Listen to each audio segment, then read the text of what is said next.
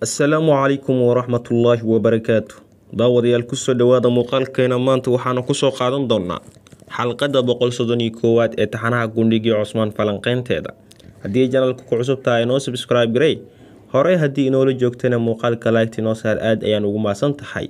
Korintaynaan gudagelin muuqaalka kahorna ku saliya xabiibkeena moxamed sala allahu calayhi wasalam hadeerna aynu gudagalna muuqaalkeena maanta. Aada iyo aad ayaan idinkaga mahad celinayaa maadaama janalka gundhigii cusmaan ugu dambeyn uu gaaray shan kun oo subscribe. Adinka dartiina ayuuna ku gaaray? Intaa iyo inka badanna maalinkay noqotaba waan idinka rajeynayaa mar labaad iyo mar saddexaadna aada iyo aad ayaa u mahadsantihiin warkan ayaa idinku dheereen hadda si toos ayaanu gudagalaynaa falanqeynteena. Xalqadda waxay si toosa ugu bilaabanaysaa. Inanka yare calaa-idiin lagu magacaabo markaasi riyoonaya. Islamar ahaantaasna ku riyoonaya isaga iyo hooyadii oo isdaba joogaan hooyadii ayuuna raadinayaa hooyadiina markaasi duurka ay ku jirta oo dhanka iyo qabuuraha waxayna raadinaysaa markaas iyada gabadheeda. Ugu dambeyn waxay imaanaysaa waa baalaye qabrigii gabadheedii markaasi xaliima waxa ayna leedahay gabadheedii miyaad hurdaysaa qabuub miyaa ku hayo? Waxaad moodaa baala markaan inay ku dhufatay oo markaasi calaa-idiin ayaa ku riyoonaya waa uuna daba jooga maadaama hooyadiis ay xanuunsan tahay. Waxa uuna u imaanaya hooyadiis waxa uuna ku leeyahay hooya walaasheeda waa ay dhimatay oo maba noola ugu dambeyn iyadana waa iska kala tuuraysaa aad ayuuna u oynayaa markaasi maadaama hooyadiisii aysan caafimaadkeedii wanaagsaneyn kadibna riyada waxa uu ku sii arkayaa markaasi qabriga uu markaasi hooyadiisa ay ku jirto. Karfanta ayuuna ka feedayaa ugu dambeynna waxa uu arkayaa wejiga hooyadiisa. Ru-aantii aad buu isugu naxayaa. Riyada ayuu ka soo toosayaa markaasi waa isaga wajooga qasriga yeni shahiir kadibna waxa uu imaanaysa markaasi walaashiisii faadima. Markay aragto markaa ninkani caafimaadkiisa uusan wanaagsaneyn biyo ayay u keenaysaa wayna siinaysaa waxayna ku leedahay. Ma waxaad riyo ku aragtay hooyo baala haa ayuu ku leeyahay maadaama walaashiisii xaliima ay dhimato markaasi iyada laftirkeeda gabadha faadima lagu magacaabo way la murugoonaysaa. Maadaama xiise u qabtay inay mar un aragto markaasi marwabaala oo caafimaad qabta. Kadibna labadooda waa ay isku oynayaan. Intaa kadibna waxaanu arkaynaa labadoodoo laabta isgelinayo. Kadibna waxaa dhanka kale nala tusinaya inankii orhaan ahaa oo markaasi tababar qaadanayo fagaaraha markaasi yenishiir dhexdeeda. Kadibna waxaa qasriga yenishiir ka soo baxaya ninkii koonuur ahaa oo u qaabilsa markaasi ciidamada cusmaan inuu tababar siiyo kadibna orhaan waxaa lagu leeyahay diyaar ma u tahay inaad koonuur alab markaasi tartan dagaal la gasho? Waxa uuna leeyahay diyaar ayaan u ahay. Kadibna ninkii koonuur ahaa seef ayaa loo dhiibayaa dagaal ayayna labadooda isku bilaabayaan islamar ahaantaasna ugu dambeyn dagaalka markii lagu cadaadiyey cunuga lagu magacaabo orhaan waxaa la leeyahay weli tababarkaaga waxbaa ka dhiman oo weli maadan gaarin heerkii lagaa rabay aada ayuu u xanaaqayaa markaasi. Dagaalka ayayna isku bilaabayaan mar alaala markuu dagaalka meel heer sar haddan marayo ayaa la leeyahay markaasi biyaha loo keena ninkani xoogaa waa daalan tahay. Oo jirkaagana waa uu sii daciifayaa taagdari ayaan ku hayso. Hoob biyahan ayaa la leeyahay. Biyihii markuu qabsiis raadin indhaha ayaa loogu shubayaa. Oo halkaasi waxaa lagu barayay markaas ninka kani khiyaanooyinka la isticmaali karo. Marka dagaalka dhexdiisa lagu jiro islamar ahaantaasna seef ayaa qoorta laga saarayaa. Waxaana la leeyahay tababarkaagii wax badan ayaa ka dhiman waa inaad tababarkaaga soo dhammaystirtaa laakiin waa fiican tahay. Isagana waxa uu leeyahay waa iga guulaysatay mudan koonuur laakiin mid la soco in aniga laftirkeeda mindideeda ay qalbigaaga u dhowdahay. Islamar ahaantaasna dadka ayaa u sacbinayaan maadaama isaga laftirkiisa xeelad u isticmaalay. Waxa uuna leeyahay koonuur alab xeeladii aad i bartay ahayd markaasi in mindida qarsoodi loo isticmaalo adiga ayaa maanta kuu isticmaalay. Waxa uuna leeyahay markaasi ninkii koonuur ahaa maasha allah inan fiican baa tahay hogaamiye wanaagsanna waad noqon doontaa. Intaa kadibna waxaanu arkaynaa ninkii cusmaan ahaa isaga iyo malhuun oo markaasi qariirad yar ay samaysteen oo markaasi ku sawirantahay qalcadaha kiita iyo kastayl iyo sidoo kaleetaba adranos iyo sidoo kaleetaba qalcadda qasriga lagu magacaabo iyo qasriga lagu magacaabo buursa halkaasi ku sharaxayaan. Waxaanu arkaynaa markaasi malhuun oo odhanaysa mar haddii aynu gacanta ku dhigno qalcadda kiita iyo qalcadda adranos iyo qalcadda kastaylba ma jirto cid naga badbaadi karta inaanu gacanta ku dhigno qasriga boorsa. Kadibna cusmaan waxa uu leeyahay waa runtaada cidna nagama badbaadi karto boorsa ama aniga ama iyada ayuu leeyahay. Waa inaan yeeshaa ama waa inaan waayaa labadaas mid ayuu ka waday. Kadibna malhuun ayaa waxay soo qaadaysaa markaasi saaftii ninkii cusmaan ahaa. Wayna u keenaysaa iyadoona siinaysa waxaynu ku leedahay markaasi. Markaygii hore waxaa u walweli jiray caruurteena calaa-idiin iyo orhaan balse maanta waa ay weynaadeen loomana walwalayo kadibna cusmaan waxa uu leeyahay waa sidaasi tababar ku filanna markaani waa ay haystaan. In loo walwalo maahan wiilasheeda. Dagaalkuna geesiyaasha unbaa gala markaasi. Kadibna cusmaan waa uu soo baxayaa banaanka ayuuna imaanayaa. Dadka banaanka joogana waxaa la leeyahay markaasi dastuur. Istoosiya mudan cusmaan ayaa yimaaday. Cusmaan mar allaala marka uu yimaadona waxa uu ciidamadiisu ku leeyahay. Hadafkeenu waxa weeye markaani kastayl inaan furano. Diyaar mutihiin inaan jihaadka aadno. Waxayna ku leeyihiin haa maxaa laga rabaa oo looga baahan yahay ninka dagaalyahanka? Waxay leeyihiin waxaa looga baahan yahay inuu si sharafa ku dhinto. Maxaa kaleetoo looga baahan yahay ayuu weydiinayaa? Waxayna leeyihiin markaasi in cadowgiisa uu madaxa ka soo jaro. Maxaa kaleetoo loo baahan yahay ayuu weydiinayaa? Waxayna leeyihiin inay furashooyinka sii wataan. Maxaa kaloo looga baahan yahay ayuu haddana leeyahay? Waxayna uga jawaabayaan markaasi inuu shahiido ayaa loo baahan yahay dagaalyahanka uu dagaalka marnaba uu dhabarka soo jeedin uu ka soo cararin bal uu shahaadada qaato markaasi. Maasha allah ayuu leeyahay geesiyaasheeda. Waa sidaas sidaa idinka rabay. Kadibna waxaa imaadaan in fariinsida ah booran ayaana u tegay fariinsidihii waxa uuna ka soo qaadaya warqadda waxayna ka socotay suldaan mascuud.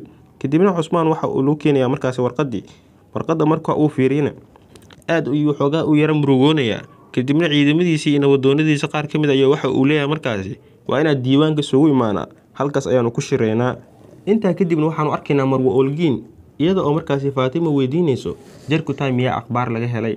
Kadibna faatimo waxay ku leedahay warqadii la keena ama fariinsidihii warqadda keena waxay ka socotay suldaan mascuud marka aada uga xumahay halkaasna waxaan ka ogaa karnaa in jarkutaay la la-yahay ilaa muddadii isniig la furinaya markaasi.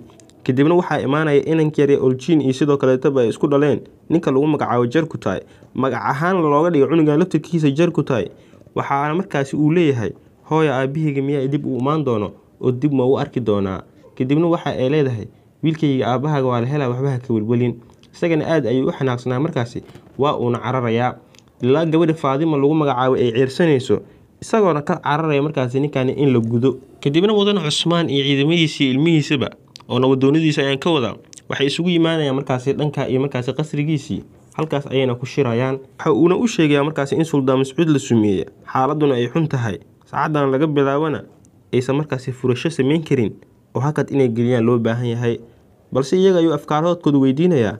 Mid walbana fikraddiisa ayuu ka dhiibanayaa in dagaalka markaasi hadda hakad la gasho loona baahan yahay markaasi in qawaa'ilada kaleeto garab la weydiisto si ay uga caawiyaan dagaalkani kadibna waxaa ninkan lagu magacaabay calaa-idiin uu leeyahay dagaalkaba haddii mar go'aan la qaadanayo waxaa wanaagsan inuu hogaamiyaha go'aan ka qaato. Annagana fikradaha uu inoo soo jeeday markaasi haddii ay yihiin kuwo la qaadan karo aynu ku raacno. Waxaanu rajaynaynaa in dowladeynu ay markaasi soo ifbaxdo annagoona markaasi ku tiirsaneen qabaa'ilada kale ee turkida markaasi kadibna orhaan ayaa waxa uu leeyahay dadkan kaleeta anaga dagaal ayaan kula jirnaa. Sidoo kale waxaan dagaal kula jirnaa cadowgeena waxaan kaleeto dagaal kula jirnaa dad kaleeto annaga isxigno sidoo kaleeto xuduudkeena bisandiiniyiintan waa inala degan yihiin. Waxaanu u baahannaha markaasi dagaalkii annaga iskeena inaan u qaadano iskeenana inaan u guulaysano oo cidna markaasi aysan inoola sheeganin. Oo markaasna cidna inoola sheeganin. Furashooyinka aan samaynayno kadibna cusmaan waxa uu leeyahay waa ogtihiin soomaan xuduudaha hataa inay nala degan yihiin rag cadowgeena ah. Annagu raggaas waa la dagaalamaynaa. Ragga kaleetee annaga naxiga ee markaasi munaafiqiinta ahna iyagana sidoo kale waan la dagaalami doonaa oo waxa uu ka wadiyaa markaasi nabadoonada isaga ka soo horjeesan doono. Uu markaasi dagaalkiisa diyaar u ah. Waxa uuna u sheegayaa inuu la dagaalami doono. Waayo cusub ayaana inoo bilaabmi doono. Waayahaas cusubna waa uu adag yahay. Innagaana yeelan doono ugu dambeyn. Qaansadana markaani falaarta waa ay ka soo baxday. Dowladeenna goordhow dowladeenna goordhow waa ay dhismi doontaa. Kadibna diiwaanka halkaas ayaa lagu soo ekeynayaa oo shirkii meesha ayuu ku dhammaanayaa. Dhanka kale waxaa arkaynaa mudane yacquub oo markaasi iska dhex wareegaya suuqa markaasi asaga uu ka taliyo. Halkaasna uu wareysanaya xaaladaha dadka iyo qaabka markaasi shaqada u kala socoto waxaana ilaaladiisa markaasi ahaa marka laga soo tagay ciidamadiisa gabadhiisa iyo sidoo kale wiilkiisa gabadhiisa goonja iyo wiilkiisa moxamed oo markaasi ilgooni ku hayeen aabahooda maadaama wax kasta dadkan ay ka suurtoobaan. Kadibna markaasi dadka meesha ganacsanaya laba ka mid a ayaa mid kale wuxuu u soo dhiibayaa markaasi mindi ay ku sawiran tahay mindidii calankii cusmaan isla mar-aantaasna wuu soo baxaya falaar ayuu soo qaadanaya waxa uuna si toosa ugu soo tuuraya mudane yacquub balse gabadhiisa ayaa arkayso intuusan falaarta ninkan soo tuurin. Aabaheeda ayay kala tuuraysaa waxayna falaarta ku dhacaysaa ciidamadooda mid ka mid ah. Kadibna ninkii ayaa la dababursanayaa oo waxaa ciirsanaya moxamed ina yacquub askarigii falaarta ku dhacdan waxaa la leeyahay ma fiicantahay wuxuu leeyahay ha waa fiicanahay mudane. Kadibna ninkii markii la soo qabto oo wax dilay oo falaarti soo tuuro marka horeba ninkaasi isaga ayaa falaar lagu dhufanayaa qoorta laga gelinaya kadibna waa uu dhimanayaa. Mindi ayaana jirkiisa laga soo saaraya markaasi uu isaga watay. Mindida markii la fiirina calanka kaaya ayaa ku sawiran maxamed in yacquubna waxa uu leeyahay markaasi. Waxaan cusmaan ay ka dambeeyey cusmaan waxaa in lagala xisaabtamaa. Aabihiis markuu imaadana mindida ayuu tusinayaa. Balse aabihiis kuma qancayo waxyaabaan oo kale inuu cusmaan ku dhaqan karo. Maxay taa cusmaan wuxuu iga dilanaya ayuu leeyahay.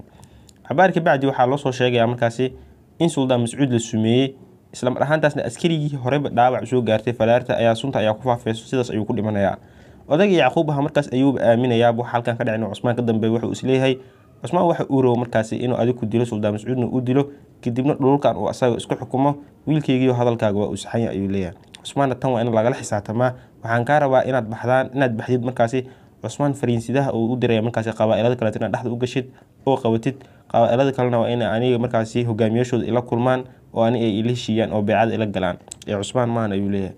Arrinkaas wuu ku raacayaa sidoo kaleeto gabadhiisan waxa uu dirayaa dhanka iyo markaasi suldaan mascuud waxa uuna ku leeyahay markaas waxaan kaa rabaa gabadheydii waxyaabaha sheegaya markaasi inaan anaga dhaxalka qaadan karno oo markaasi suldaan mascuud dhexleena inoo soo qaad oo qasriga suldaan mascuud tag markaasi qof aan halkaas kugu sugayo dhan kale waxaa arkaynaa cusmaan oo markaasi ilmihiisa sogootinaya calaa-idiin iyo orhaan. Orhaanna waxaa lagu amraya markaasi raggan sanjaaksin salaar inuu la soo heshiiyo uu ku soo daro markaas dagaalada cusmaan hadeer uu qaadi rabo. Dhan kale calaa-idiinna waxaa laleeyahy waxaan kaa rabaa inaad suldaan ku tegtid oo war inooga keentid. Isagana sidaas ayuu ku soo baxaya oo ciidamadiisa ayuu soo wadanaya. Waxayna soo sogootinaya markaasi ciddiisii si toosa ayayna u soo baxayaan.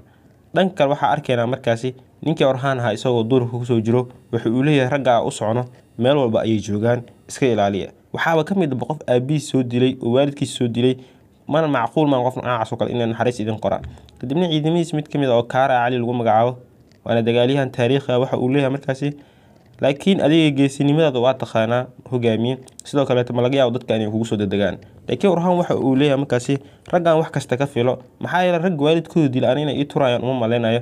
Laakiin waa inaad feejignaanteena ee badataa dhanka kale waxaa arkaynaa inankii yaraa ee jar kutay ahaa ee jar kutay dhalay isagoo cararaya kana cararaya markaasi gabadha cusmaan u dhalay ee faadima. Iyaduna waa cirsanaysaa istaag ayay leedahay balse isaga waa uu ka baxsanayaa. Ugu dambeynna nin ganacsada oo remos lagu magacaabo oo markaasi dhanka ay qasrigii nashiir warwareegayay ayuu gadaal ka gelaya cunugii kale waxayna leedahay markaasi ka soo bax isagana waxa uu leeyahay anigu ma doonayo inaan ku raaco ee nabadgeliya isaga tag meeshan ninka uu ammaanadiis gala ayuu leeyahay markaas iga badbaadi marow inaan raaciyo iyadana waxay ku leedahay markaas waa inaan soo baxdaa oo amarka mudan cusmaan aa qaadataa. Ninkii ayaa dhahaya markaasi mudan cusmaan maa taqaaniin? Waxay leedahay gabadha markaasi faadima lagu magacaabo meeshan qof joogo oo cusmaan aqooni ma jiro ee waa inaa isjirtaa waxyaaba afka ay ka soo baxayan waa inaa kontarool yeeshtaa teedi kale mudan cusmaan qofka u tago oo hadallo qaldan hortiisa ka yiraahdo amaba ka xanaajiyo madaxa ayaa laga jaraya laakiin ninkii waxa uu leeyahay aniga hore waxaas maanan u maqlin hadda maqal ayaa la leeyahay waa waxa ay dadka markaasi kaa qariyeen isla mar ahaantaasna inankii yaraa ee jarku tahay carar ayuu is leeyahay waana la qabanayaa gabdhaha ayaana loo dhiibaya la leeyahay kan wada hor u wada. Isagana waxa uu leeyahay anigu ma rabo in la igudo aabahayga ayaana maqan nabadgelsha walaalayaalow oo markaasi idima raacayo. Laakiin sidaas ayaa lagu wadayaa isaga iyo carruur fara badan ayaa markaasi la rabaa in la gudo laakiin gudniinka ayuu ka cararaya ninkani dhanka kale waxaa arkaynaa marwabaala oo xanuunsan oo caafimaadkeeduna markaasi liito. Sidoo kaleetana dadka iyada u adeega xitaa sanka uu u xiranya maadaama cudur faafay uu ku dhacay xanuun zaaidna uu hayo. Sidoo kaleetana gabadheydii xaliimana ay ka dhimatay oo laba shii ayaa isugu darsoomay markaasi oo dadkaana markaasi daaweynaya dhanka suguud ayay joogaan. Waxaana lagu leeyahay marwabaala la soco in wiilkaayo markaasi hadda uu aaday dhanka iyo qasriga qoonya ee suldaan mascuud fariin ayuuna kuusoo diray. Sidoo kale marwa malhuun iyadan dhar ayay kuusoo dhiibtay. Midaas la soco aad ay u mahadsanyiin ayaa leedahay wiilkaygana inuu kheyr ku soo laabtay ayaan rajeynaya oo ilaahay ii ilaaliyo. Sidoo kaleet waxaa la leeyahay wiilkaaga haween iyo maalinbu waxa uu ka fikirayaa siduu uu daawadaada u keeni lahay. Ilaa hindi ayuu kuu tagay si uu daawo kugu keeno. Marka sidaas darteeda daawada hadda inay ku anfacdaan macquula waxay leedahay sidii hore hadda waa dhaamaa. Oo daawada markaa cunay sidii hore inaad dhaamo ayaan rajeynaya iyo dhahad markaasi. Dhanka kale waxaa arkaynaa cusmaan oo markaasi soo baxaya oo qasriga qasrigiisa ka soo baxaya dastuur markii la dhaho. Dhammaan dadkii oo dhanna meesha ay wada joogaan xitaa sheekha lagu magacaabo yunis imri oo meesha isagana taagan laakiin aanan weli isku sheegin dadka waxa uu yahay. Iyadoo meesha la wada joogo ayaa cusmaan waxaa ku soo cararaya inanka yare jarkutay ah. Isla marhaantaasna hooyadiisa olgiin ayaa ka xumaanaysa maadaama uu soo cararay kadibna cusmaan ayaa qabanayo wiilkaygii maxaa ku markii la dhahan waxa uu leeyahay? Waxaa la rabaa in la igudo laakiin aniga ma rabo aabahaygoo maqan in la igudo aabahaygoo joogaan rabaa in la igudo ayuu leeyahay. Kadibna cusmaan waxa uu u ballan qaadayaa inaan la gudi doonin isagoo aabihiisa markaasi aan la keenin iyadoo cusmaan xitaa oo markaasi ay ka dhadhacsan tahay in cunugaani aabihiis uu mar hor dhinto laakiin si kale ayuu qalbiga ugu dejinaya markaasi waxa uuna leeyahay markaasi waxbaha ka welwelin. Aabbahaaga anigaa kuu keenayo. Kadibna waxa uu leeyahay cunug yaraa mudane cusmaan ha noolaado sidaas ayaa laga rabaa. Kadibna meesha ayaa lagu cunteynayaa ninkii booran ahaa ayaana markaasi meesha xoogaa hees ka qaadayo isla mar ahaantaasna lagu ammaanayay sheekha lagu magacaabo yunis imri. Markii heesta uu dhammeeyo ninka booraha lagu magacaabo waxaa la leeyahay heesta ninka magaciisa ku juriyaa waaye waxa uu leeyahay waxaa lagu magacaabaa yunis al caashiq waana nin markaasi sheekh ah sidoo kaleetana gabyaa ah isla mar ahaantaasna uusan jirin markaasi qof arkay amaba codkiisa maqle xitaa ma jiro. Ninka sheekhaana meeshooba fadhiyaa markaasi oo isaga laftirkiisa warkooda uu maqlayaa markaa isla mar ahaantaasna markii cuntada la dhammaysto isaga meesha uu ka soo tago wuxuu leeyahay wallaahi caanimadu waa musiibo ayuu leeyahay. Wallaahi caanimadu waa musiibo. Meeshaba uu isaga soo tagaya dhanka kaleeto orhana waxaa arkaynaa markaasi raggii ayaa gacanta ku dhigayaan dagaal ayayna isla gelayaan markay isdagaalaan oo ay kala adkaan waayaan dagaalka iyo iska joojinayaan kadibna waa ay kaxeynayaan waxayna geynayaan markaasi goobtooda waxayna ku leeyihiin waxaa rabta inoo sheeg halkaanse maxaa ku keenay waxa uu ku leeyahay anigu wax kale miyihi waxaan ahay horta ugu horeyn inankuu dhalay mudane cusmaan orhaan ayaan ahay. Kadibna waxay ku leeyihiin wiil uu mudano dhal ayaaba tahay halkaa maxaa ka soo doontay? Dhimasho ayaa raadinaysa ayaa lagu leeyahay. Waxauna leeyahay halkan waxaa u maaday inaa raggiina ay idinla heshiiyo dagaalada cusmaan goordhow uu qaadi doonana inaa gadaashiisa ka dagaalantaan ayaa la rabaa waxa arabtiina markaas waa la idin siinayaa. Iyaguna waxay leeyihiin anaga dahab iyo hanti unba inoo daran maahine wax kale inooma darno. Ciddii waxna siisaana markaas anaga iska raacnaa. Teeda kale waxa uu leeyahy waxaa rabaa hogaamiyiin inaad barto. Waxayna u sheegayaan in magacooduba u yahay sanjaak sislaar koox bilaa calan ah koox bilaa hogaamiye ah rag soo abaabuli meel iska soo istaagay islamar ahaantaasna tuugo ah. Waa sida magafiyoo kaleeto waxay arkaan wadad ayay ka qaataan. Kadibna waxa ay ku leeyihiin anagu wax hogaamiye ah maban lihi ee dhammaanteena isku mid ayaynu nahay. Mataqaanaa mid walbo anaga naga mid ah inta uu soo dili ma yaqaano oo markaasi tira maba lahaba marka sidaas darteeda orhaan waxa la leeyahay markaasi haddii aad inaan kula heshiin awooddaada waa inaana tustaa ina yaroo qasriyadu ku soo karaa tahay anigu qasri kumaanan soo korin ee fardaha dushoodan ku soo barbaaray dagaaladan wax waan ka aqaanaa. Haddii aad ii malaysaa inaan iska hadlayno soo maahan mid ka mid a ciidamadiin iisoo saara kabacdi aniga ayaa cashar idin dhigaya waa arki doontaan. Kadibna buun ayaa la yeerinayaa isla ahaantaasna waxaa soo socota ayaa laga wadaa markaasi. Carabo ama si kaleeto kolonyada gaari faraska ayaa laga wadaa. Waxaanu kaa rabnaa inaad gacanta ku soo dhigto. Xitaa qofka ku jira ayaa lagaa rabaa inaad gacanta ku soo dhigto. Awooddaadana waa inaana tustaa isagana waxa uu ku leeyahay marba haddii awooddeeda la itijaabinayo diyaar ayaan u ahay ee ina kaxeeya meeshiina geeya dhanka kaleeto mudane cusmaan ayaan arkaynaa isagoo lagu leeyahay nin ganacsada ku joogo. Akhbaar ayuuna kuu sidaa ninka kani kadibna cusmaan wuxuu u imaanayaa ninka fariinsadaha ninka fariinsadahan waxa uu u sheegaya akhbaaraan kaaga hayaa qasriga leefka ayaan kaaga hayaa qasrigaasna waxaa maqlay intaan aniga ganacsi ahaan u tegayo inuu joogo nin jarkutaa lagu magacaabo. Fariin ayaana kaaga sidaa cusmaanna waxa uu leeyahay markaasi. Iska jir haddii aad been sheegto. Kadibna ninkii waxa uu leeyahay waan ogahay inaanan been kuu sheegi karin oo dhibaato isoo gaarayso aad dilaysid laakiin runta ayaan kuu sheegayaa si aan carab kale iiga jarin. Qasrigaas waxaa jooga nin jarkutaa lagu magacaabo ciidamadaas ayuuna ka mid yahay waxaana la iisoo dhigay markaasi daraaciisa mid ka mid a hoo ayuu leeyahay oo maradiisa ayaa jab laga soo jaray isla mar ahaantaasna cusmaan ayaa la tusay ninkii booranaha ayaa u dhiibay kadibna waxa uu ku leeyahay ninkaasi hawaanduuliyaashii meesha joogaan ayaa garaaci jiray maalin walban waa la ciqaabi jiray waxa uuna dhihi jiray maalinkan xorroobo labadeeda seef ayaan idinku dili doonaa maadaama ninka jarkutaa lagu magacaabo laba seef uu wato. Xitaa waxa uu yidhi ninkaani waxay iskhilaafeen maalin maalmaha ka mid ah hawaanduuliyaasha meesha oo ciqaabaya kadibna dhegta ayuu qaniye inta ugu qabtay ayuu dhegta ka jaray isagana mindi ayaa wadnaha laga geliyey balse ma uuna dhimanin. Maadaama ognaha ninka jarkutaa lagu magacaabo wadnihiisa aadanaha meesha uu ku jiro maahayn meel kale uu ku jiro. Boqolkiiba ee markaasi duniyada ay ku yiryihiin dadka noocaas oo kaleetana. Kadibna ninka cusmaan ahaa waxa uu ku dhahay dahab lay soo maribta adi dahabkaaga hoo laakiin warbixintaada maalinka been noqoto ogow inaan kowkaa sii doono. Kadibna ninkaas waxa uu leeyahay aniga dahab uma baahni ee waxaa u baahanahay heshiis inaa ganacsi asla dhigano ayani shiir mar walba ka ganacsan kara u baahanahay ee wax dahaba aniga kaagama baahni gebi ahaanba. Kadibna waxaa lagu leeyahay waa ila shaqaysanaysaa halkaana waa joogi kartaa. Laakiin in akhbaartaadu been noqoto iska ilaali gebi ahaanba markaa leefka tagana adiga laftirkaaga halkaas waa ila joogaysaa oo waan kaaga baahanahay. Kadibna faatima ayaa baxaysa waxayna u tegaysaa olgeen waxayna ku leedahay ugu dambeyn akhbaar ayaa lagaaga keenay markaasi ninkii jarkutaay ahaa waa ayna markaasi farxaysaa farxad darteed hataa wix ay wada dhulka ay ku ridaysaa waxayna leedahay wiilkeeda ayay u tegaysaa aabaha ugu dambeyn wuu imaan doonaa waana la soo heli doonaa. Iyadoo aada ugu faraxsan in ugu dambeyn ninkii jarkutaay ahaa akhbaar laga helay. Dhan kale waxaa arkaynaa maxamed ina yacquub oo markaas waddada u galayo. Raggii cusmaan uu soo diray qabaa'iladu u kala diraya ee fariinsidayaashaha mid ka mid a islamar ahaantaasna gacanta ayuu ku dhigaya waxa uuna leeyahay inta hooshayna gaarayna ciidamadiisa ayuu amar ku siinayaa. Intaan hoosheena qabsanayno raggaa marti ayaynu yihiin oo meel halii geeyo. Kadibna ciidamadii sanjaak sislaar ahaa mid ka mid a u imaanaya waxa uuna ku leeyahay maanta waxaa inoo yimid inankuu dhalay mudan cusmaan ee orhan bey waxa uuna doonayaa markaas inaan garabkiisa noqono. Sanjaxis larn weli go'aanmay qaadan cunugan waa tijaabinayna ayay dhaheen. Sidaas darteeda waxay ku tijaabinayaan gaari faras. Markaas hadda waddada soo socda qustantiniya ka soo baxayo marka sidaas darteed la soco adiga. Waxa uuna ku leeyahay arrintaas intaysan dhicin waa ina aniga ka gaara ayuu leeyahay. Oo aniga ayaaba rabo markaas raggaas inaa la ee orhaan marnaba macquul maha inuu la dhan kale waxaa arkaynaa cusmaan ciidamadiisa oo waddada ku sheekaysanaya haddana waxaa dhanka kalena la tusinayaa. Orhaan iyo sidoo kaleetaba ciidamadii sanjaagtis laar ahaa korna waxaa laga tusayaa orhaan markaasi gaari faraskaas waxaana lagu dhahay raggaas markaa gadaal ka daba raacno way carari doonaan iyadana anagan iska celin doonaa adiga waxaa laga rabaa marnaba inuusan kaa baxsanin gaari faraska waayahay ayuu leeyahay tijaabada iga qaadanaysiin inaan ku guuleysto ayaan rajeynaya ayuu leeyahay. Dagaalkii ayaa meesha ka bilaabmaya raggaana way soo cersanayaan gaari faraskana nin baa la cararaya oo la fakanaya dagaalka intii lagu jiro orhaan faraskiisu soo qaadanaya markaasi gaari faraska ayuu soo daba dhiganaya. U dambeyn wuxuu ku guuleysanaya inuu gaari faraska gacan ku dhigo. Laakiin laba gabaraa saarneyd labada gabarna way ka cararayaan. Gabarna waa holovira gabarta kaleetana waa gabar iyada markaasi kalkaaliyaha u shaqeynayso. Sidaas darteeda orhaan waa uu ka daba cararaya. Gabarta markuu gacanta ku uu fiiriyin waa uu aqoonsanaya inay holovira tahay.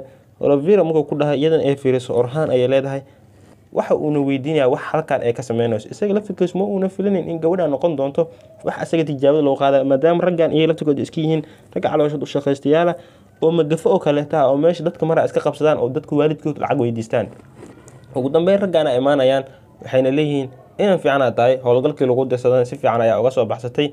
Laakiin orhana waxa uu leeyahay gabadhan aniga ugaarsada anigaana iskale adika marnaba ku wareejinaya isagana waxaa lagu leeyahay adiga martileeba noo ahayd anaga waa ku tijaabinayna laakiin qaniimo wey waxaan anagaa iskale iska sii daaya la leeyahay waxa uuna leeyahay markaasi aniga gabadhan aqoona naga dhexeysa laakiin waxaa lagu leeyahay aqooni waxa artaa idinka dhexeysa wax igama gelin. Laakiin aniga gabadha ehelkeeda wacanayna lacag ayana noo soo dhiibayaan kabacdin iyadan waa iska fasaxeynaa waxa uuna leeyahay gabadhan wax dhibaataya la soo gaarsiinin anigaana markaas waxaa rabtiin idiin keeni doono. Iyadana waa iska fujinaysaa maadaama waxaan oo kaleeto aysan ka filanaynin. Mana ku farxayso waxa uu ninkaani sameynayo isla mar ahaantaasna waxaa lagu leeyahay markaas ciidamada sansaksislar mid ka mida ninkan gabadhan gacanta ka soo xir laakiin orhaana ka fujinaya isagaana gacanta ka xiraya wuxuuna leeyahay waxbaha kelweli anaa kula joogo anaana kaa badbaadinayo waana kuu soo laabanaya. Iyadana waa iska fujinaysaa waxayna ku leedahay sidaanoo kale makaa filanayn inaa ugu sameyn doontid laakiin si walbay noqoto iyada gaari faraskeeda ay iska raacaysaa raggaanaana wadanayaan. Isagana ciidamadiisa mid ka mid a kaaraa cali lagu magacaabo ayuu wacaya waxa uu leeyahay raggaan way naga tira badnaayeen waa ogaay laakiin waxaan kaa rabaa inaa yanishiir aadid isla ii keentid sanduuq dahaba si aan raggan u siiyo markaasi. Oo gabadha a markaasi anagana aan ugala wareegno. Sidoo kale waxaa arkaynaa ninkii jarkutaay ahaa oo ku xiro markaasi qasriga leefka xaaladiisna ay aada u liidato xitaa wax uu cuno hataa afka aana la geli karinin. Dhanka kale waxaan arkaynaa calaa-idiin ayaa waxa uu tegaya ugu dambeyn qasriga qoonya marka qasriga qoonya uu tagana gabadha lagu magacaabo waxaa imaanaysa goonja oo ina yacquub ah markaasi. Mar alaala qasriga markay isla soo galaan waxay si toosa iskula imaanayaan markaasi ninka qasriga iridda ka lahaa ilaalada meesha u taliyo. Waxaan ka soconaa aniga wuxuu leeyahay calaadiin waxaan ka socdaa mudane cusmaan agtiisa. Waxaana rabaa markaas inaa suldaanka la kulmo. Iyadana waxay leedahay dhanka mudane yacquuba ka socda inaa suldaanka la kulmo. Labadiin waxaa la leeyahay suldaanka qofka rabo inuu la kulmo waa inuu warqada keenaa oo cadaynaysa markaasi in warqad dhankooda loo soo diray. Maadaama calaa-idiin hore warqad aabihiis loogu soo diray warqaduu dhiibayaa halka gabadha goonjaal dhahayna qolkaas hebel iska sii gal iska sii fadhiiso. Asagana waxaa la leeyahay adina halkaas sii tag dhakhtarka ayaa markaasi dhakhaatiirta ayaa hadda suldaanka la jooga. Markay suldaanka dhakhaatiirta ka soo tagaan kabacdi ayaa la idin gudbinayaa ayaa lagu gudbinaya leeyahay ninka lagu magacaabo aladiin kabacdi le waa gabadha goonjaa oo markaasi iyada laftirkeeda waxaa markaasi fursad kale in loo raadsho. Dhan kale waxaa arkaya ninka cusmaan aha oo imaanaya sugood waxa uuna soo gelayaa markaasi qolkii ay ku jirto xaaskiisa baala ee meesha lagu daryeelayo. Waxayna leedahay baala iyadoo hurdeyso ayaa mar qura soo kacaysaa oo ninkaan cusmaan duultaaga marka argto waxay leedahay cusmaan meeshan waa inaad isaga tagtaa waa ogtahay inaan xanuunsanahay xanuunkaygana uu faafayo isaga bax meeshaan balse markuu wejigeeda feeriyo sidii hore maadaama ay dhaanto waxa uu leeyahay sidaad hore waa dhaantaa ma fiicnido leedahay waa fiicanahay. Sheeko dheera markii xogaa sheekaystay xanuunkii ku soo kacayo. Xanuunka marka uu ku soo kaco haddana ninka cusmaan ahay aada ayuu u murugoonayaa maadaama iyada hero ee ku dhahda markaasi xoogaa yar caafimaad qabaa. Laakiin waxay leedahay aniga waa caafimaad qabaa waa ku dheh been maahan laakiin sideedii hore ayaan dhaamaa oo keliyatay mara yar ayay soo qabsanaysaa markii ku qunfacdana dhiig ay yeelanaysaa. Naagta markay u dhiibtana cusmaan ayaa gacanta ku dhigay dhiigga markuu arkeen baala waa xanuunsantaha ayuu leeyahay isaga laftirkiisa markaasi waa uu ka murugoonayay waxyaabaha markaasi baala hadda haysto. Waxaan kaleeto arkaynaa gabadha lagu magacaabo goonja ayaa waxaa u tegayay markaasi ninkii ilaalada meesha ka mid ahaa. Intuusan u imaanin gabadhan ninkaasna waxay isla hadlayaan gabar iyada kalkaaliyaha waxayna leedahay waxaa la sheegay in ninka cusmaan uu dhalay calaa-idiin in seefta iyo marka loo feeriyay iyo dagaalka caqligiisa markaasi uu ka sareeya waxaasoo idin oo maskaxdiisu ay dhisan tahay. Waxayna leedahay markaasi waxaas waa arki doonaa haddii seefta iyo caqligiisu uu caqligiisu uu sareeyo. Cabaar kabacdi ninkaana imaanayo oo meesha ilaalada ka aha wuxuu uuna ku leeyahay marwagoonja isdiyaari goordhow waxaan kuu geenayaa suldaan mascuud qolka uu ku jiro. Waxaa rabtan meeshaas ka soo sameyso diyaar waa ay leedahay. Ninkaas wuu iska baxayaa. Kadibna gabadhii iyada kalkaaliyaha u ayaa waxay ku leedahay daala waxaa dhihi sooma cunugaas cunug caqli badan waaye. Balse hadda waa aragtaa sooma inuu doqon yahay. Isagoo warqad wata ayuu meesha imaaday anigaana uga hormarayo halka isagana markaas qolkaas uu isaga jiraahayo. Warjiramoog ayuuna meesha ku ahaan doonaa ninka alaa'idiina isagana waxa uu diyaarsanayaa daawadiisa sidoo kale waxa uu diyaarsanayaa qiic uu ku uuma bixi dadkan markaasi uu ku suuxiyo isaga iyo baysunguri ciidanka. Askartiisa kale mid ka mid a ayaana soo baxayaan. Laakiin gabadha lagu magacaabo goonja ayaa ka hormarayso waxayna gelaysaa qolka markaasi suldaan mascuud waxayna markaasi kala baxaysaa faraantigii suldaan mascuud maadaama aabaheeda uu ku dhahay waxaan rabnaa waxyaabo dhaxal ahaan inoogu reebi kara suldaan mascuud inaan nagu soo qaadid oo qabaa-ilada markaa tusnana ee aqoonsan doonaa inaan anaga markaasi halkan ka nahnay suldaanka markaasi oo meesha ka talin doono. Markii sidaas darteed waxay la baxaysaa faraantigii suldaan mascuud. Faraanti kale ayayna ugu bedelaysaa oo iber ah oo feeg ah. Kadibna warqad ayay waxay ku qoranaysaa markaas waxa ay rabeen tiim ayayna ku soo dhusanaysaa oo suldaan mascuud ah oo cadeynaya markaasi inay iyaga leeyihiin. Kadibna waxaa imaanaya ninkii lagu magacaabayay calaa-idiin isagana markuu soo gala suldaanka ayuu daawo siinayaa. Suldaanka markuu daawo siinaya suldaanku waa uu soo kacayaa indhaha ayuu kala furaya kadibna waxa uu leeyahay wiilkayga maadaama ay badbaadisay in badan aniga maanan soo kicin halkan ayaan jiifay. Waxaan kaa rabaa inaa mudan cusmaan igu geysid. Waxa uuna leeyahay maxaan kaaga gaarsiiyaa oo mudan cusmaan kuu geeyaa. Halka suldaan mascuudna uu leeyahay in badan qariidada dowladda salaajaqada waan ilaalilayay laakiin haddeer barkinteeda jeex kana soo saar qariidada ku dhex jirto barkinta ayuuna jeexayaa qariidada ayuuna ka soo saarayaa. Halaasna gabadha lagu magacaabo goonja waa ay daawanaysaa. Maxay tahay qariidada marka uu ku yaadan waxaa lagu leeyahay? Qariidadan waa inta dhul ay salaajaqada ay xukunto. Mudan cusmaan gacanta ka saar. Isaga ha noqdo markaasi suldaanka meeshaan. Gabadhan maadaama ay meesha ka daawanayso calaa-udiin waa uu ka shakinayaa oo qof inuu meesha ka dhageysanayo kadibna suldaanka ayuu ka soo tegayaa oo meesha waa isaga soo baxayaa. Mar alaala markuu meesha isaga soo baxo gabadhan waalidkeeda ayaa marka horeba waxay u dirtay warqad ahayd markaasi in suldaan mascuud uu dhintay kadibna waxaa la soo sheegaa in suldaanka indhaha kala furay markaasi. Dhanka kale orhaan waxa uu tegayaa markaasi meelaha laga cunteeyay islamar ahaantaasna waxaa loo sheegayaa in cuntadiisu ay diyaar tahay miiskaasna ay u saaran tahay balse maxamed ina yacquub ayaa imaanayo. Ayaa maxamedka inta soo baxa isagii ciidamadiisa kursiga ku fadhiisanayaan. Waxaa sameynaysa waa qalad ayaa lagu leeyahay maxamed waxa uuna leeyahay. Waxaan jeclahay anigoo hadlin inaan helo ayaan iska jeclahay. Marka sidaas darteeda cunadu waan u baahnaa inaan dalbadan maba loo baahnayn sooma cuntada maadaama arkay eebdaridiis markuu meesha fadhiistay waxaa lagu yidhahday laakiin waxaa wax akhlaaq daraa.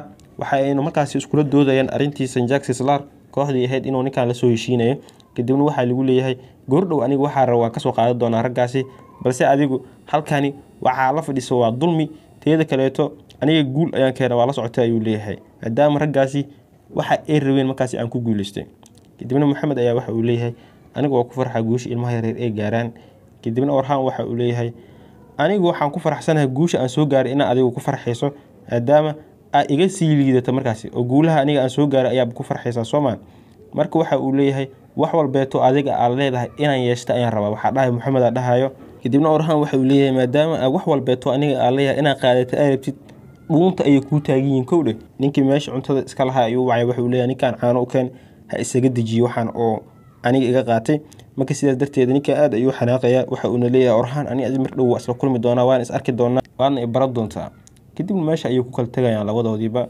Dhanka kale waxaanu arkaynaa ninkii basilis ahaa oo markaasi la shiray raggii uu ku daadiyey dhulalka cusmaan uu ka taliyay ee dhulalka mudane yacquub iyo qabaa-ilada turkida. Raggaasna waxaa ka mid ahaa markaasi midkii midkii amar ku bixi markaasi in la dilo mudane yacquub oo inanka soo diraya waa mindida u soo dhiibaya sidoo kaleetan ahaa markaasi ninkii mudan cusmaan u soo dhiibay fariintii ka socotay suldaan mascuud dhankiisa. Marka sidaas darteeda iyagu waxa ay ku kala daadsan yihiin markaasi. Meelaha uu mudan cusmaan ka taliyay karajaxisaar soguud yeni meelo fara badan ayay ku kala daadsan yihiin markaasi. Waxayna leeyihiin wax walba si wanaagsan ayay u socdaan. Mar dhowna dab ayaanu ka dhex shidi doona gudahooda iyagaana isdagaali doona ninkii vasilis waxa uu leeyahay anaga dhiig aad daadin wuu inoo dambeyn doonaa laakiin raggaa marka hore ha isbaabi'iyaan iyaga dhiigooda ha iska daadiyaan markaas kadib ayaanu anaga soo dhexgeli doonaa oo howsheena markaasi ka qabsan doonaa waxaan arkaynaa markaasi dhanka kaleeto ninkii cusmaan ahaa asagoo waddada ku soo jiray ciidamadiisa isla socdaan ayaa mar qura waxay la kulmayaan. Sheekhii yunis imri ahaa oo meesha iska fadhiyo oo isaga markaasi waxaa muudaa qaabkii wuxuu u soo galayaa taxanaha markaasi. Ibnulcarab oo kaleeto taxanaha dirliis artulo qofkii daawaday waxa uuna markaasi arkayaa quraansho meesha marayso waana wuu u fariisanaya quraanshada ayuu markaasi wax siinayaa waxay cunaan. Markuu waxay cunaan u dhigan cusmaan ayaa imaanayaan waxayna ku leeyihiin darwiish meesha waa ogtaa in oo dadku ay wadadu maraan. Maxaa qaldanoo meesha ku fadhiisiisa u rabna anaga laftirkeena boorana u tag isdhahay laakiin maadaama ninka maadaama uusan hadlaynin cusmaana umaanaya waxa inu ku leeyahay. Maxaa dhacay? Waxaana lagu leeyahay halkan quraanshaa joogto. Cunto ayaana ku cunaysaa adinkana waxaa rabtaa inaad kor martaan. Taas macquul ma tahay. Waa ogtahay inuu ilaahay qur'aankiisu ku leeyahay. Markii quraanshadii ku soo maray nebi suleymaan iyo ciidamadiisii meesha si aysan u dardarin ee quraanshadii markaasi weyneyd ku dhahday waa inaad gashaan guryihiina si aysan idin dardarin oo korkiina idin jijibinin. Nebi suleymaan iyo ciidamada oo wata weliba iyakoona idin dareemayn marka cusmaan waxaa lagu dhahay maadaama halkan quraanshada ay cunto ku cunayso masaakiin weeye ee wadadan wadaa ahayna ka baxa. Kadibna ninkii cusmaan ahay amarkuu qaadanayaa waa uuna ka tegayaa meesha. Kadibna waxaa lagu leeyahay ninkii darwiishka ahaa magacaaga ma inoo sheegi kartaa. Wuxuu leeyahay magaca waxaa magacu waa waxaan aan ka ordayo inaaba sheego. Wuxuuna leeyahay darwiish oo keliya inaan ku koobsada iska jeclaa magaceyga aanan sheegin marnaba sidaas darteed cusmaan iyo ciidamihiis waddada kale ayay ka baxayaan. Ninkaana waa uu u duceynayaa sheekha markaasi. Ilaahayo hamigooda tusi ayuu leeyahay sida markaasi ay quraanshadu markaasi ugu naxariisteen. Dhanka kale waxaa arkaynaa ninkii yacquub ahaa waxa uu kulminayaa dhammaan qabaa'iladii islamar ahaantaasna nabadoonadoodii weeye waxa uuna ku leeyahay suldaan mascuud waa ogtihiin in la sumeeyey. Hadeerna isagaaba dhiman rabo. Halkaana waxaa raba suldaan inay yeelato. Aniga ayaana rabo inaan suldaan halkan ka noqdo. Miigu waafaqdeen. Iyaguna waa ay ku waafaqayaan waa inay ku kala tegayaan meesha. Mar alaala markii ay meesha kala tagaan gabadhii goonjaa ahaydna qasriga iyagoo joogaan ayaa waxaa lagu leeyahay. Suldaan mascuud indhihi ayuu soo kala furay. Waxayna u soo socotaa dhanka aabaheed inay imaado akhbaartan ka gaarsiiso. Laakiin intaysan ka soo gaarsiininba dhanka kale ayaana la tusayaa cusmaan oo markaasi tegay qasriga leefka. Islamar ahaantaasna waxaa meesha ka taliyay ninka lagu magacaabo simon. Cusmaan iyo gudaha soo gala dhaha laakiin marka horeeto waxaa la leeyahay seefahaas ka dhig waa diidayaan. Waxayna leeyihiin dahabka ayaan wadanaa qof ayaa naga haysataan qofkaasaa rabnaa inaan badbaadin anaga cusmaanna laba shii u socdaa inuu jarku tahay soo badbaadiyey iyo waxa uu socdaa markaasi inuu qasriga leefka laftirkiisa uu gacanta ku dhigo. Islamar ahaantaas mar alaala markii cusmaan uu meeshan u soo galo qorshe ayaa meesha ka soconayo. Cusmaan waxaa lagu leeyahay ninka aragta soomaha jarku tahay haa dahab ma ii wadaa la leeyahay dahabku waa wadaa uu leeyahay. Waxaa la tusinayaa jarku tahay oo nool uu garka ku baxay oo nooc kalaa gebigiisaba waxa uu leeyahay markaasi cusmaan jarku tahay. Magaciisu ku qalcelinaya waxaa la leeyahay ninkaasna wuu dhimanaya adinkana waa dhimanaysiin isdiyaariya islamar ahaantaasna ciidamadiisa ayuu amar wuxuu ku siinaya in raggan falaaro lagu dhufto cusmaan iyo markaasi qorshe ayaga soo dhacayaan. Cusmaanna waxa uu xanaaqayaa markaasi isaga qiyaamay ee markaasi marka horeba u soo sheegay ayna shahiir ugu imaadeen wuxuuna leeyahay waa ku dili doonaa midaas la soco. Dagaalka marka uu mar allaala meesha uu ka bilaabmo dhanka kale waxaa ina tusayaa markaasi ninkii orhaan ahaa oo imaanayo dhanka iyo markaasi raggii sanjaak sislar meesha joogeen dahabkooda u keenaya wuxuu leeyahay gabadh igu soo wareejiya. Laakiin gabadha holovero waxay leedahay war isma dhaantii dhasheedaa tihiin adiga iyo raggaanba isku midaa dahabaa bixinaysaa sida nin madax furasho sameehay oo kale. Ma ogid miya ninka isoo qabtaba ina adiga tahay oo ragga adaab gacantii iisoo geliyay maxaa hadda u bixinaysaa markaasi madax furasho. Kadibna dahabka marka uu tuso raggan waxay leeyihiin dahabkan anagu waa nugu yaryahay waxa uuna leeyahay waa ka daraysiin wixiina ka badbadayso waa dahabkan qaati gabadh igu soo wareejiya. Waa ogtiin gabadh aqoona naga dhexaysa horena waa idinkugu sheegay soomaa ku adkeynta joojiya marka. Waxaana lagu leeyahay dahabkan dahab ka badan rabnaa yaa waa cidda gabadhan oo markaasi dahabkan dahab ka badan ka bixi rabto. Kadibna waxaa imaanaya maxamed ina yacquub oo dhahaya markaasi orhaan horaan kugu sheegay soo maahan waxaan rabaa aniga anoo hadlin ayaanba rabaa markaasi inaan iska helo. Marka sidaas darteeda anigaa dahabka la bixi rabo gabadhaana anigaa la wareegay. Orhaan taag ayaa ka soo haraya markaasi. Kadibna waxaana la tusayaa ninka cusmaan ahaa oo gacanta lagu dhigay ciidamadiisii asagaba waxaana badbaadinaya mudan yacquub oo imaanayo. Waxaana lagu leeyahay ninkii simon ahaa ee meesha ka talinayay ma waxaa rabta inaad mudan cusmaan dishid oo ka tirsan markaasi qabaa'ilada turkida kadibna hogaamiyaha meesha ee simon waxa uu leeyahay mudan yacquub haddii aadan horey ula soo hadli lahayn oo fariin iisoo diri lahayn mar hore ayaan dili lahay cusmaan iyo waxa markaasi uu watay ciidamadiisa balse dartaada ayuu ku badbaaday waana kaxaysan kartaa. Kadibna waxa uu leeyahay mudan yacquub haddii aad dili lahayd makula taa adalafkaa inaa badbaadi lahayd aniga badbaadi lahayd aniga ayaa ka kaasi lahay oo qoorta mar hore kaa jari lahay. Mudan cusmaanna garaafyar inay soo gaarsataa ma ogolan karo ninka cusmaan dhataag ayuu bilaabay. Yaaba qof kastaan u hadlaya ma yacquubba mise waa qof kale ayuu isweydiinayaaba. Kadibna waxa uu leeyahay yacquub cusmaan waa ogtahay suldaan mascuud waa uu dhintay. Kadibna wuxuu leeyahay inna lillahi wa inna ilayhi raajicuun. Ilaahay janatulfirdows ha geeyo. Kadibna waxaa lagu leeyahay aniga ayaaba noqon rabo suldaanka meeshaani waana inaa gacanteeda dhunkataa. Waxaana rabaa inaan hogaamiyahaaga noqdo sida nabadoonada igaga dambeeyaan oo kalena ay igaga dambeyso gadaasheeda aa mar walba istaagsanaatid amaradeedana aa qaadatid cusmaan markaas kabacdi sababtiisa ayuu dhulka surinayaa halka yacquub uu u maleynayay in gacanta laga dhunkanayo. Waxaana lagu leeyahay markaasi oday adigaaba gadaal u socday aniga qof gadaal u socod ah. Inaa gadaashiis istaaga macquul maan ayuu leeyahay. Xalqaduna meeshaas ayay ku dhammaanaysaa. Wixii aan ka tegayna waa waxyaaba iska yareeraa waxyaabaha muhiimka xalqada ku jira inaa ka hadlaa rajeynaa aada umahadsantihiin goosgooska koowaad ee qeybta boqol soddon iyo labaadna waxaan uga soo hadli doonaa janalka gendaawi muuqaalka markaa daawato muuqaalka xiga horeba waan ka soo dhigi doonaa. Janalka dhankiisa communitiga ayaana idiin soo dhigi doonaa videoga aada umahadsantihiin daawadayaal. Taa ku kulmi doona muuqaalka muuqaalkiisa xiin waxaa idinkaga tegaya salaamta islaamka salaamullaahi calaykum waraxmatullaahi wabarakaatuh